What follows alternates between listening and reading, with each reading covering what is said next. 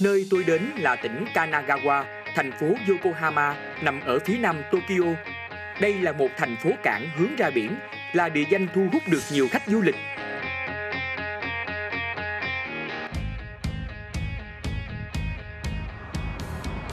Chào quý vị, không khí hôm nay thật là dễ chịu.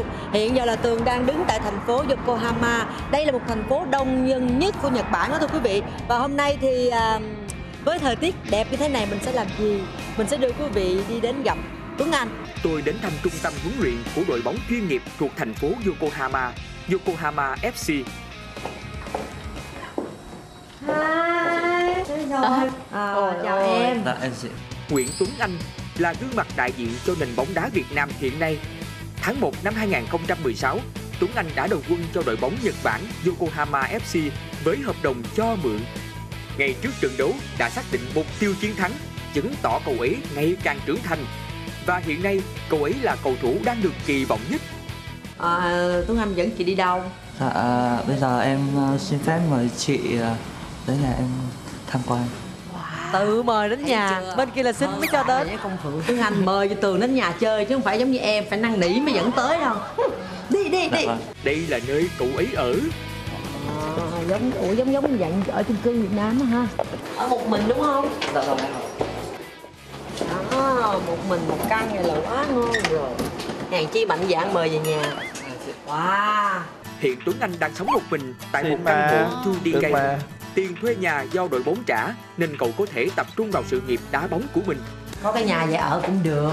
Đây phòng ngủ. Hai phòng mới ghê chứ. Dư quá vậy đó là Vậy- phòng ngủ Vậy phòng mình tới đây mình ở được không ta? à, thông qua không tưởng đâu tủ đựng đồ quý hiếm gì nó mở. Có phụ nữ vô có khác ha. dẹp hết trơn hay sao? Không có cái gì Vô là tự động kéo rèm ra liền. Ờ. Hả? hả? Em dẹp hết rồi hả? Em phải để chị coi chứ sao em dẹp hết không có gì trong nhà anh vậy À, có bánh kẹo Ồ, Giống y chang Nico Lan Trinh luôn nè. Trời đất ơi giấu giếm hết trơn vậy. Người ta còn hỏi, người ta còn từ từ nhẹ nhàng chị này. Hàng chi nó chủ động mời mình tới chơi giấu hết trơn không có một cái gì trên trên nhà hết trơn. Có tìm qua đời sống ờ, của người ta thế nào? có một cô nào núp trong mình trời. Có không? Có ờ, chắc bạn gái về đây chơi không? À, Không có. Nãy giờ tới nhà mỏ mời tôi uống nước Người ta mở tủ lạnh nha Tập trước người ta còn Mẹ xin phép. Cặp à. Chị thấy đâu? cầm qua mà thì cầm bao lâu rồi? Dạ cách đây 2 tháng em để từ đó à, ai ai ai gửi qua đây cho em hai tháng? Dạ Thì lúc gần về tập trung tuyển. À, vậy hả? Mà sao không ăn mà còn nguyên vậy? Thì em đâu có anh ở nhà mấy đâu. Em thường anh ở đội hoặc là đi ra quán. Là mẹ mẹ làm hay là mẹ mua? Mẹ tự mẹ tự làm mà không ăn có chị về chị bác quay vô đi. Bác này bác. Tuấn Anh nó không có ăn là bác. Dạ vậy con ăn nha bác. Trời ơi. Chết với chị luôn á chị. Đúng là chỉ có chị Tường. Ờ, Chị ờ, Chỉ có chị Tường thôi, hai đứa mình thua bó tay. Em lịch sự lắm chị em tới nhà nó nhã nhặn nhà nó thầm rồi Trời ơi. Ba, ba lục dưới luôn gì hết. Rồi cái đã không thấy gì hết trơn á từ từ đi. Ủa vậy chứ bình thường em không có học bài học dở gì hết hả? Dạ. Có. Em học đâu rồi? Em ngồi học ở đâu? Học ở trên giường. Học trên giường? Dạ. học trên giường học sao rồi vô? Thì học học chơi chơi. Rồi đất ơi rồi hả? Rồi nghe, nhạc rồi, rồi có tivi rồi gì đâu. Ủa em tivi là em uh, tách cáp này tại sao? Lại không hiểu tiếng Nhật không hiểu là không học luôn hả? Em không học tiếng nhật hả? Dạ, quan điểm bạn này khác công phượng hoàn toàn bây giờ nói được cỡ nào nói được cái gì rồi? Ừ, Không, chưa, chưa đâu vào đâu ấy bình thường ví dụ như cưng giao em giao tiếp ở trong trong trong đội á, thì là em nói chuyện sao? Có cái người thông dịch hả? Hay là em nói chuyện bằng Dạ, tiếng gì? Cũng ờ, em nói tiếng Anh. Nói tiếng anh? Vâng. ờ, vậy đó tiếng anh giỏi lắm hả? Không, không giỏi nhưng mà kiểu mình không nói thì không nói tiếng Anh thì chẳng lẽ em nói tiếng Việt. Dạ. Thế là em cứ nói đại thôi. Sao không không không cố gắng học tiếng nhật? Thì kiểu tại em nói được tiếng Anh. Em thấy cái lịch làm việc họ có có căng quá không? Em có theo kịp? À, Em theo kịp. Bây giờ với em thì ờ, em quen với ờ, guồng guồng tập luyện ở đây. Tập từ 9 giờ tới uh, 11 rưỡi tầm 11 giỏi hơn rồi ờ, có hôm thì tập thêm tạ. À vâng tập thêm tạ. Là tập gym á hả? À, tập cái đó là mình tập cá nhân hay là cũng là trong chương trình bắt trong buộc? chương trình. Bắt buộc. Rồi chiều. Rồi chiều thì ờ, có hôm tập có hôm nghỉ. Ừ. Dạ. vậy thì những lúc nghỉ em làm gì? Em về em ngủ. Ngủ rồi ờ, tầm khoảng ờ, bốn rưỡi năm giờ kém em lên đội.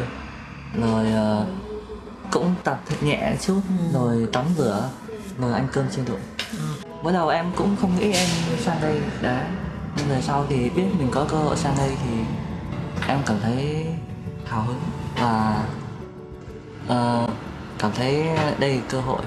Kể cả bây giờ có cho mình chọn vợ lại thì em vẫn chọn sang đây một năm để có cơ hội để mở mang hơn và trải nghiệm điều mới hơn.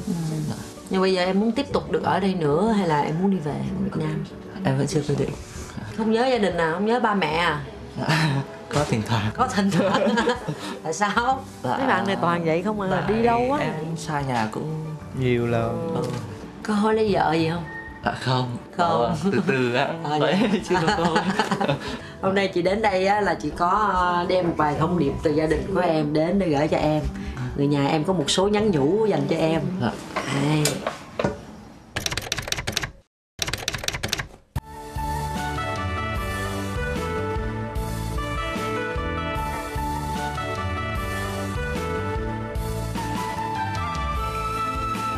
bạn này chững chạc điềm đạm hơn phượng là rụt rè thôi cô là Dạ. à, Chào các cháu, dạ cô là cô là mẹ của Tuấn Anh. Lúc con nhắn nói chung là cô ấy khỏe tất cả mọi thứ đi sơ âm thai thì của Tuấn Anh ấy thì nó diễn biến bình thường Thế chú tin tưởng là chắc là đẻ dễ cái hồi đấy thì mình cũng cũng cũng làm bác sĩ sản khoa thôi vàng đồ ở nhà lần trước đẻ dễ là này luôn nhà ừ, lúc giờ em mập lắm, khoảng 4 kg. Bụ lắm. Anh nó nó là cái đứa nó không hiếu động nó không nghịch ngợm gì. Thế là nó dễ bảo nó hiền nó làm cái gì như đi chơi về ở nhà hay có khách hay đến nhà anh vậy tức nó không không không hiếu động như đứa khác nó cứ chạy tung mà nó đến đâu ngồi. Thổi đá bóng thì, trường cấp 1 thì nó hay có cái giải của huyện tổ chức là giải dành cho các cháu tiểu học đấy. Nó đã hay quá thì nhặt nhặt đi thi huyện huyện đến để huấn luyện thì cháu đã hay quá thì huyện lại nhặt đi thi tỉnh Khi con được đi sang đấy là mình thấy mừng. Mừng bởi vì là cái cái nền văn hóa ở đấy là cái thứ nhất. Hai nữa là cái nghề bóng đá bóng đá ở bên đấy là nó phát triển hơn ở mình. Thì là con sang đấy là mình thấy là tốt cho con, tương lai của con mình mặc dù nó có thể nó không ra sân thi đấu nhưng mà tất cả những cách sống cách làm cách ừm, mọi mặt của người Nhật thì mình học chứ. Thì đấy là cũng phấn khởi. Sau này nói về nó định hình cái lối sống của các con sau này. Mình phấn khởi. Đây là cái uh, fan hâm mộ. Tặng cho này chơi cũng vậy fan hâm mộ Hà Nội. Đã cái giải U19 tại sân vận động Mỹ Đình 19 quốc gia ấy. được nhiều fan hâm mộ. Người ta nhiều khán giả trong cả nước người ta yêu mến mình thích. Mình hơn là những cái cúp này. Những cái huy chương này tức là làm sao mình đã được ở trong lòng của của khán giả này để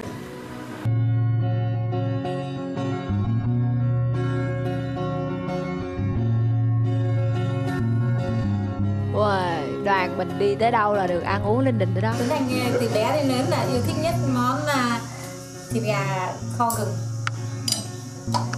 Nhưng mà lại phải kho chúng ta là phải thích kho có nước một chút kho khô. Không phải kho khô. Thứ hai là thịt gà ta không phải gà công nghiệp. Rồi hay thích ăn món à, chả nem rán? Để cháu Tuấn Anh yêu quý của ông. Chúc cháu mạnh khỏe này. Rồi à, hăng say học tập này. Rồi thực hiện tốt nội quy này. Cháu cố gắng đi nhé. Chúc cho cháu ở đấy yên tâm học tập và mạnh khỏe. Đồng thời là hoàn thành được cái nhiệm vụ xuất sắc cho cái nền bóng đá của Việt Nam cách đây à, 9 năm có lẽ cái ngày đó thì ông chỉ nhớ là ông chỉ nói với cháu một câu chắc cháu còn nhớ. Ông nói một là biết đâu là chỉ độ tám, chín năm sau thì lại là khi là đội tuyển Việt Nam ra sân để có Tuấn Anh. Thì đúng rồi là như vậy thì ông cũng rất tự hào. Cố gắng là không để xảy ra chấn thương, tránh được những cái va chạm này. Nó nó không không đáng có cho bản thân. Là mẹ mình nhất. Chỉ mong là con quả bình an. Đấy chúc con coi như là mọi sự yên bình không không bị chấn thương sức khỏe tốt học hỏi được nền bóng đá của Nhật Bản. Về sau này coi như là trở thành cầu thủ xuất sắc và công hiến được nhiều cho câu lạc bộ cho đội tuyển quốc gia. Đấy là điều gia đình và bố mẹ là mình nhất. Nào. Hả? món quà chị đem qua thế nào? Dạ thì cũng rất bất ngờ và thấy ờ, động viên tinh thần mình. Cảm ơn tất cả mọi người trong chương ekip này chương trình này thì đã ờ, bảo cho em một món quà rất ý nghĩa cho em. Vâng. Em cảm ơn mọi người. one two three good Khởi gượng.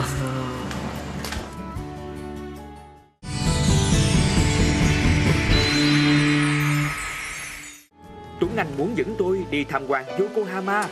Nếu đã thế thì chúng ta lái xe đi chơi thôi. Ồ, bạn có xe Ôi riêng có hả? xe riêng luôn Ừ. ừ.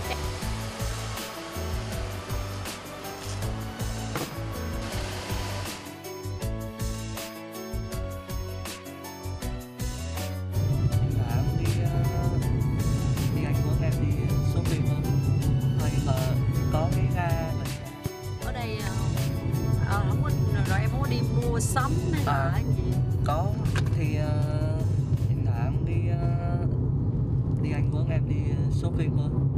Hay là có cái ga gần nhà thì thì thoảng mua thịt cá về.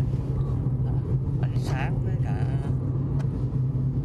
nói chung là mua mấy dụng cụ hai chị em làm tấm hình trên xe làm kỷ niệm rồi. Em chụp bên đó qua đi. Nè, chị ấm vô ấm vô đây. Và để cái hình đó ra cái chỗ này đó vậy đó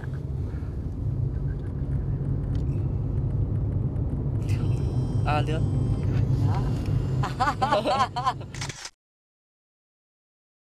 đây cảm ơn em. Tới rồi đó hả? Dạ vâng tới có nhiêu vậy thôi.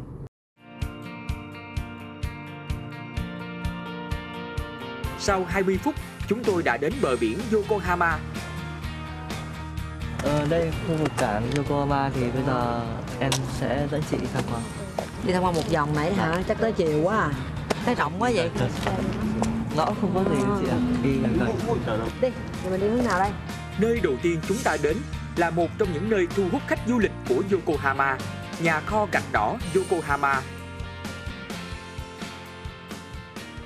Ê, này sao giống tòa lâu đài quá vậy Ờ, đây là gọi là Akanga. Ngày trước thì có là khu vực để nhập hàng hóa, bảo quản hàng hóa. Bây giờ họ sử dụng thành trung tâm sắm. Bảo quản hàng hóa là giống như cái kho á hả Cái kho. cái kho mà đẹp vậy hả Dạ vâng. Trời đất ơi giống như tòa lâu đài vậy đó chị nghĩ này buổi tối chắc cũng đẹp lắm à, Dạ vâng, buổi tối. à tối lên đèn chắc là đẹp Đây cũng là nơi hẹn hò của nhiều cặp đôi. ồ vậy à. thì Tuấn Anh có khi nào ra đây hẹn hò chưa Em không có ai ở đây. có ai đây hết ủa cái, cái, cái xe đỏ đỏ đó là, là mình thuê đi á hả giống như là leo lên đó để người ta chở mình đi một vòng tham quan đỡ khỏi phải đi bộ đi Xe đạp hả? Xe hả? Hai người nhìn thấy một loại phương tiện có tên Cyclopolitan.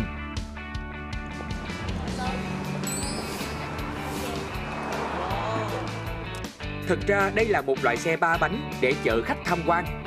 Xe chạy bằng năng lượng điện, không thải khí CO2 nên rất thân thiện với môi trường. Rồi đi một vòng quá đã luôn Bây giờ là đi một vòng rồi Mặc dù là có xe đưa đi mà thật sự là đói bụng Thấy không? Thấy trời chiều đói rồi bây giờ cho ăn đi chứ. Rồi em sẽ dẫn chị đi ăn món ờ, đặc sản của Nhật.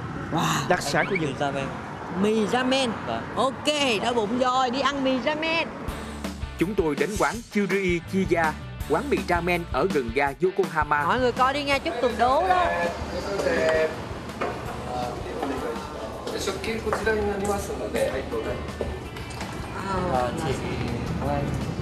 thiếu này để làm gì? Bấm á mình chọn trước À, Món rồi, gì rồi. á có giá tiền rồi Chứ không có nhân viên là hỏi order menu đó, đó, gì đó, hả? đó. Menu đó À, Chọn vô đi hay quá ha. À, đó có cái thẻ luôn. Rồi Bỏ tiền vô đó luôn Rồi vô ngồi người ta bưng ra ăn Hay ha, tự động quá, hiện đại quá. coi như tự phục vụ luôn タレと油の方はどうされますか là mỡ Ồ, một người ít một người đậm. Dạ. Vâng số số vâng dạ. Ồ, ngộ vậy à, ăn ăn ăn ăn ăn. Chị tưởng đâu là cầu thủ phải ăn lạc, phải không béo chứ. Là em thích ăn. Có dư mỡ không người không? Không, kiểm tra mỡ có 78 phần trăm thấp. Tụi còn ta nấu mì còn khác ở Việt Nam nấu mì không nữa bỏ mình vô sau, trước, bỏ mình vô sau, lên, mới bỏ rau bỏ thịt vô. Còn ở đây ông chế nước lèo vô cái tô trước rồi xong mới được bỏ biển nami futsu desu arigatou gozaimasu. Nước súp được hầm kỹ từ xương heo để có được hương vị tuyệt hảo. Mì là loại mì sợi dẹt cùng với nước súp tạo nên sự kết hợp hoàn hảo. Mì ăn cùng trong biển cải bó xôi và thịt heo. Ôi thèm quá. Ngon lắm hả? Giờ đang đói bụng á. Mùi à, mùi thịt. Nó ra nước thịt rất là ngọt. Để coi cái cọng mì hồi nãy mình yêu cầu cọng mì à, Mì dai đúng không? Để thử là nó dai sao? Ngon. Ngon không? Cọng, cọng mì rất là ôm nó bụng quá à. Giống mì trứng Việt Nam vậy đó nhưng mà cọng mì nó dai hơn muốn hút lắm mà nóng quá hút không có được. Ừ. ở bên Nhật ăn á mì là phải hút rột lên. Mới là, là ngon. nghe được. Mà ở này nóng rồi quá. văn hóa của Nhật.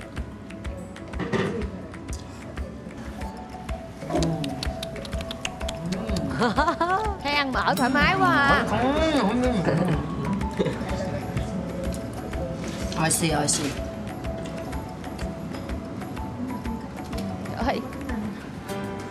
Mình đếm một hai ba chân vậy ông. Em đâu có tự sướng đâu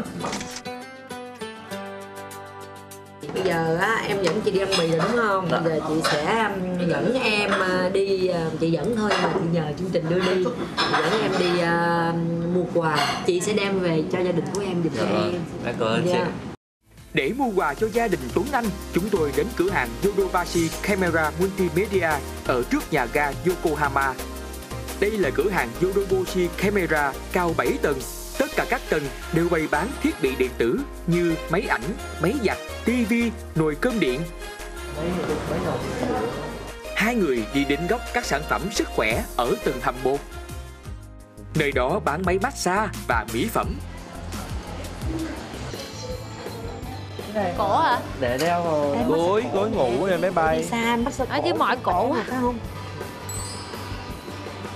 Rồi lại Này được á, mua cho ba mẹ được á. Có cái gì chưa? Có thấy công dụng gì chưa? thấy có. Sao? Dạ heo hả? À, tăng tăng lên, tăng tăng, tăng lên.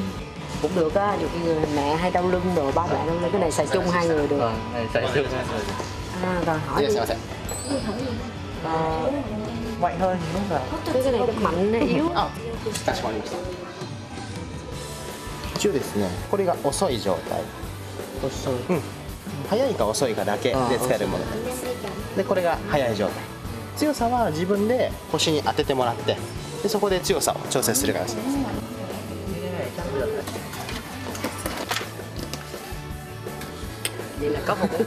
yeah.。さて、ば tôi đi đến góc mỹ phẩm. nổi tiếng của Nhật Bản đấy đó là mặt nạ ờ, thôi kem kem dưỡng da kem đi ha các phụ kem dưỡng da đâu lại đây ở đây kem dưỡng da lại night cream mua này cho mẹ mẹ Tuấn Anh 設定1万8700円です